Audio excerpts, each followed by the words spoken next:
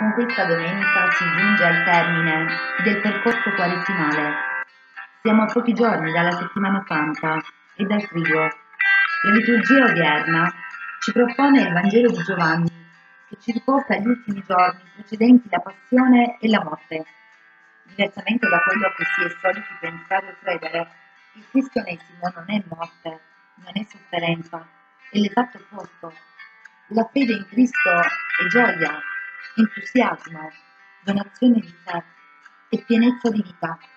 Il chicco germoglierà nel grano, si è trasformato in vita, ha dato frutto. Questa è la croce e abbiamo il coraggio di chiamarla morte? Se così fosse, avremmo capito davvero poco della nostra fede cristiana. Il nostro non è un Dio della morte, è il Dio della vita che accetta la croce non come sconfitta, ma come germoglio e speranza di vita. È difficile da capire? Risponderò a questa domanda lasciando richiamare le parole di un grande teologo, Bonhoeffer. La croce ci è stata data non per capirla, ma perché ci aggrappassi modesta.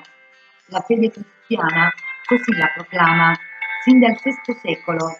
Ave o crux, spes unica, salve o croce, unica speranza, e allora siamo chiamati a seguire Cristo, a camminare al suo fianco, verso la risurrezione.